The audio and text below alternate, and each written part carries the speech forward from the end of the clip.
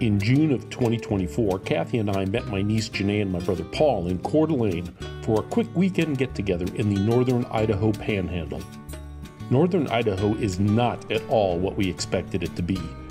We brought an embarrassing amount of camera gear to photograph all the animals inhabiting the untouched wilds of the inland Pacific Northwest.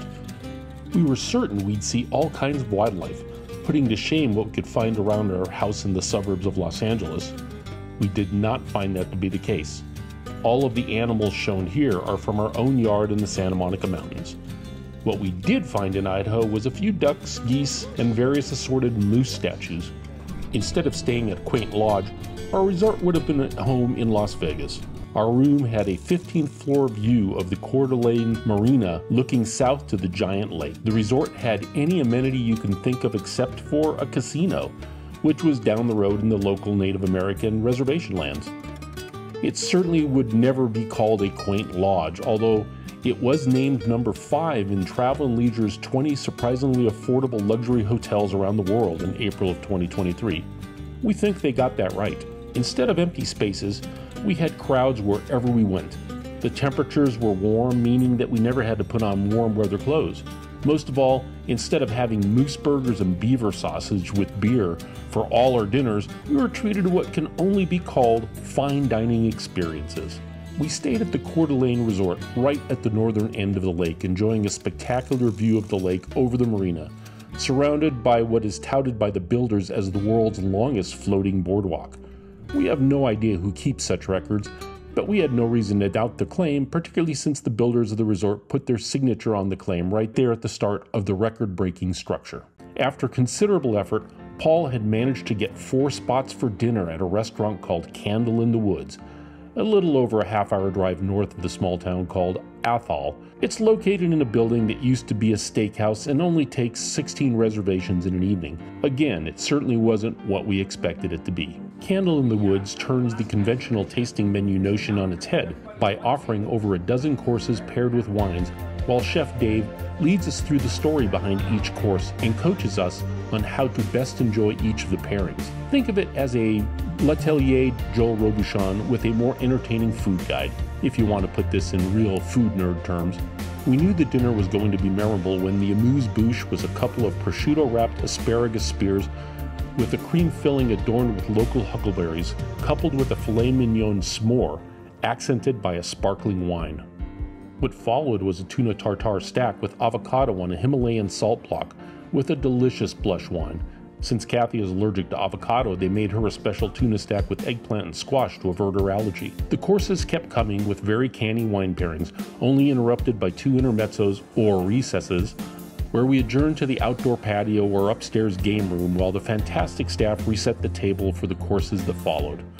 Other courses included smoked diver scallop tarts, bacon ice cream with meringue, tempura prawns with ravioli and a cream pesto sauce, perfectly cooked steak, mango peach sorbet with a playful mystery ingredient, flaming lamb lollipops, and a French toast cream dessert paired with ice wine. The quality of the food and wine pairings were made unforgettable by the interaction with Chef Dave and his impeccable team. The wine pairings were great in that they didn't try to be pretentious reserved wines that were meant to be sipped alone. Instead, they were deliciously paired to the course at hand, which was a refreshing change from so many places where they're trying too hard and still getting it wrong. Enjoying the meal at a communal table allowed us to interact with the other patrons, giving the whole evening a delightful extended family feel. This went into my memory banks right up there with any other dining experience, but in the most unexpected place. I was sad to see the evening end.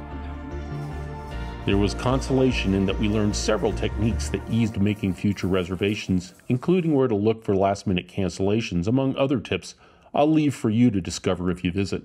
The next morning, we signed up for a short lake sightseeing cruise. Kathy, Janae, and I took a short hike, taking in the views from the insanely crowded Tubbs Hill, before we boarded our boat. Janae got the bright idea to test one of the suggested techniques to see if we really could get seats at Candle in the Woods again on a Saturday evening. Lo and behold, it worked. We were set to enjoy another meal in our newly found gem. We knew they changed up the menu daily, so we knew that we weren't going to get a repeat of the night before.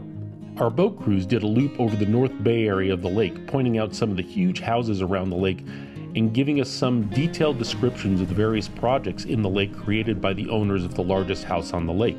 We heard about the backgrounds on the resort in which we were staying, the condos that were stated to be the nicest in the western United States, the famous golf course along with its floating green that could be changed moving the yardage of the hole. We sat with a longtime resident of the area who gave us additional, less hyperbolic background in the area. It was a great way to spend the morning and get a feel for the lake. After our cruise, we wandered around town to see the sights in the afternoon. That evening, we headed back to Athol for round two in Candle of the Woods. We had another memorable dinner with Chef Dave and his son Connor, as well as the rest of the team. In addition to the amuse bouche and tuna dishes, we were treated to a new recipe on quesadilla that was delicious. This was followed by a trio of salmon, cold sous vide side melon, and steelhead. We returned to our trusty smoked diver scallops, ice cream palate cleanser, intermezzo number one, tempura prawns, pork tenderloin, steak, and a delicious torte for the dessert.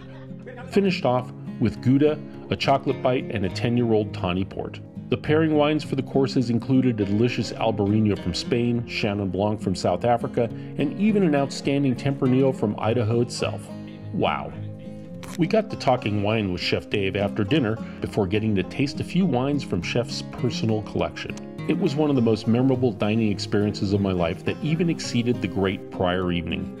We can't recommend Candle in the Woods more highly and can't wait to go back. I really hope Chef Dave visits Southern California so I can share some of the wines from my cellar with him. For our next adventure, we're going to rent one of these boats and head out and uh, explore the lake. So if the next broadcast is from underwater, you'll know why. The next day, we decided to explore the massive Lake Coeur d'Alene ourselves by renting a boat at the marina. We had hoped to spot some bald eagles or possibly even moose feeding in the shallows of the lake. Much to our disappointment, we saw much less wildlife than we normally see at home, which was completely unexpected, however, made sense due to the crowded nature of the area. That said, the lake is gorgeous, and we really enjoyed cruising the bays of the lake and taking in the amazing lodges built all around the lake. We would recommend the boat rental to anyone going into the area. Our final dinner was at Beverly's, right at the resort itself. It enjoys a great seventh floor view of the lake and has an impressive wine list, including quite a collection of prestigious expense account wines. The food was quite good, but the meal just didn't measure up to the dining experiences we'd treated ourselves to during the prior two evenings. The next morning, we drove back to Spokane and took the short two hour flight home. All in all, northern Idaho isn't at all what we expected. While the amount of wildlife and density of visitors were disappointing, the great dinners and enjoyable excursions on the lake make it a great destination for a weekend away. Costs of everything were quite high, but so is the quality. We're really looking forward to going back. If you have any suggestions of things to do in northern Idaho, please leave them in the comments below. If you want to be notified of other videos, please like and subscribe. Thanks for watching.